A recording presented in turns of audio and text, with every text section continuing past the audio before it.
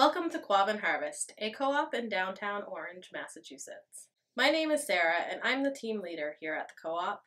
We've invited some of our customers and suppliers to tell you what makes Quabbin Harvest special and why you should take full advantage of this great local resource. Four women came together with an idea, good you know, food for their families, and here we are today. We come together as a community to make this place and keep it alive. It's unique that we have an opportunity here to provide local food to the community in, in a retail setting.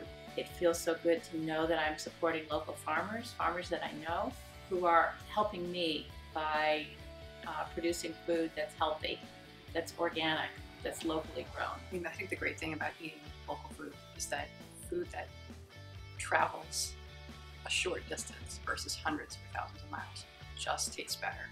And when you spend your money on local food, you're supporting the people in your community. Like you are, your neighbors are feeding you and you're supporting them with your resources. As soon as they were selling shares, I said, this is something we need to support. It's like civic engagement almost is how I feel about it, where I will come here first because I know that my friends and neighbors are selling their goods here. They have taken their values and their beliefs and their vision of what the world should look like and created something out of that. I think that what people don't understand necessarily about a co-op is there is an expensive way to shop at a co-op, and there's also a less expensive way to shop at a co-op. One of the goals in our mission statement is actually to provide affordable, healthy food to people in our community. Our produce costs, our fruit costs, our basic item costs, and our basic program in general are designed to be comparable to any of the big box competitors here in town. I want to support the co-op and I'm on a budget, so what I do is I do the fruit and veggies to share every week,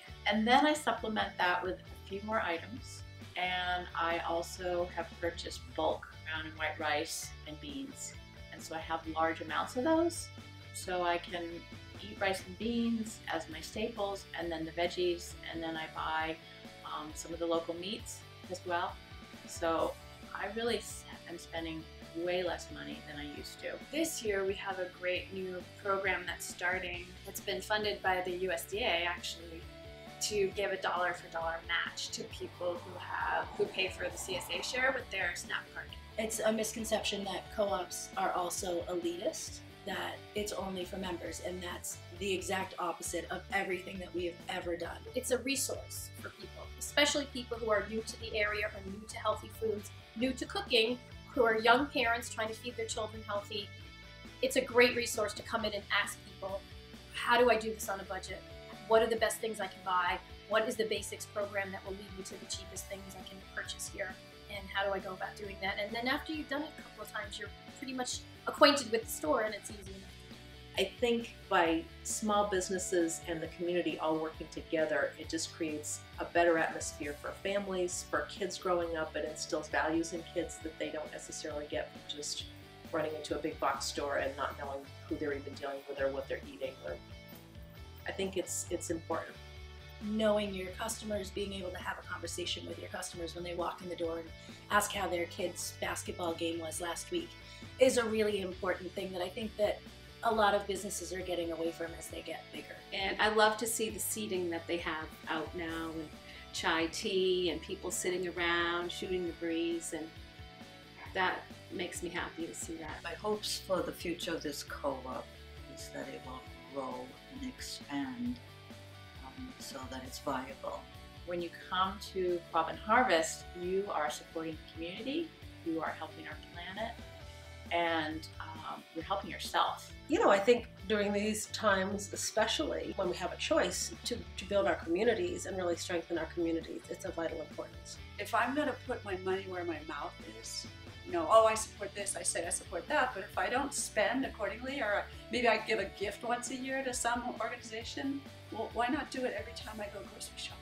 Your money is your power. Spend it wisely, spend it locally, and let big businesses know that, that they can't keep just taking off with your money and doing whatever they want with it. Time is now. There's an urgency that we need to um, step up to the plate and see how we can make this co-op work.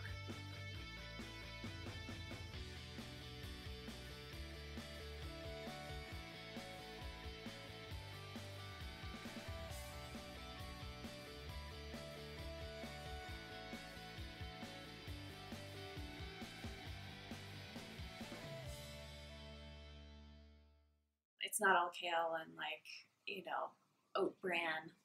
So we have really tasty things. Quabbin Harvest, your community market.